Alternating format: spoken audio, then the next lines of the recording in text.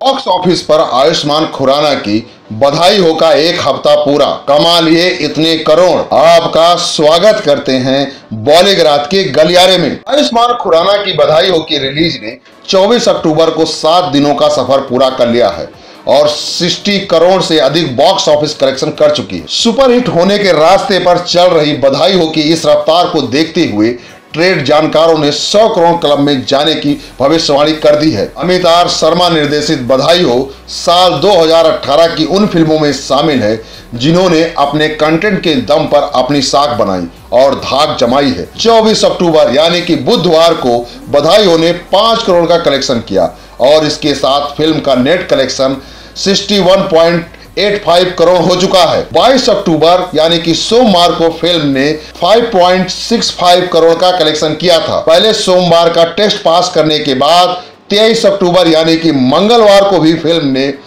5.50 करोड़ जमा किए। फ़िल्म का 100 करोड़ क्लब में पहुँचना लगभग तय माना जा रहा है। बस देखना यह है कि कितने दिन लगते हैं। गौरतलब है कि इससे पहले 5 अक्टूबर को आई आयुष्मान खुराना की अंधाधुन भी 59 करोड़ का शानदार कलेक्शन करके हिट घोषित की जा चुकी है। इस सस्पेंस थ्रिलर फ़िल्म को श्री राम राघवन ने डायरेक्ट किया था। तब्बू ने आयुष्मान खुराना के साथ स्क्रीन स्पेस शेयर किया। तय तारीख से एक दिन पहले 18 अक्टूबर को रिलीज़ हुई बधाई होने 7.35 करोड़ की ओपनिंग ली थी।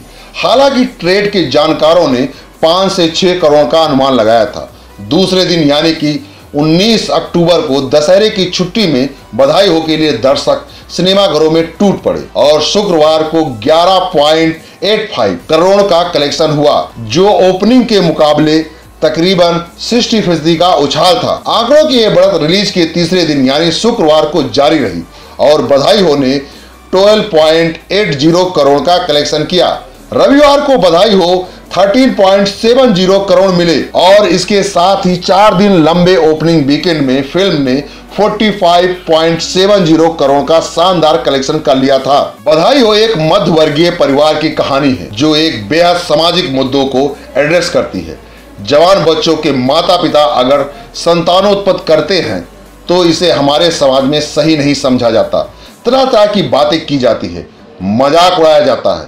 शादी की उम्र के बच्चे को खुद ये बात बड़ी अजीब लगती है कि उनके माता पिता ये कदम कैसे उठा सकते हैं। बधाई हो, ऐसी ही सोच पर मजाकिया अंदाज में आघात करती है। इस फ़िल्म के नायक आयुष्मान खुराना है, जबकि उनके साथ सानिया मल्होत्रा है, जिन्होंने आमिर खान की फ़िल्म दंगल से डेब्यू किया था। साल भरद्वाज की फ़िल्म पटाखा में लीड रोल में नज़र आई। बधाई हो, आयुष्मान के माता पिता के रोल में नीना गुप्ता और गजराज राव हैं।